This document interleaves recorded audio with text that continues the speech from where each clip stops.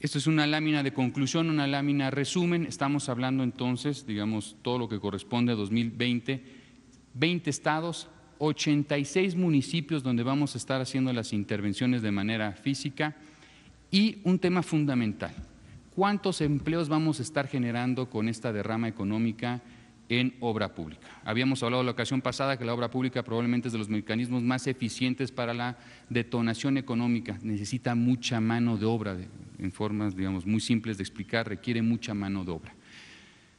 Estamos, nuestros cálculos, pensando generar 260 mil empleos directos, 260 mil empleos directos en este total de 86 municipios. Así hay que sumar los empleos indirectos. ¿Cuál es la, digamos, la población potencial beneficiada? ¿Cuál es la población, la población en estos municipios?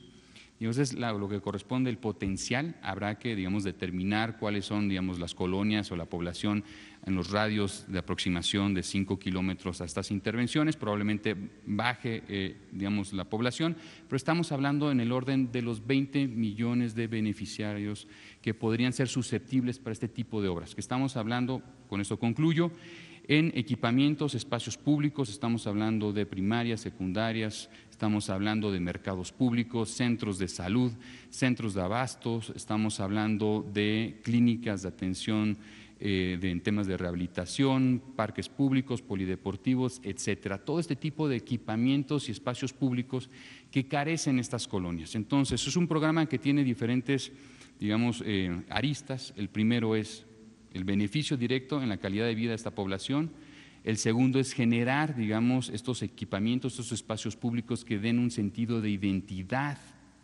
local. Y el tercero, sumamente importante, la conformación de empleos también a nivel local.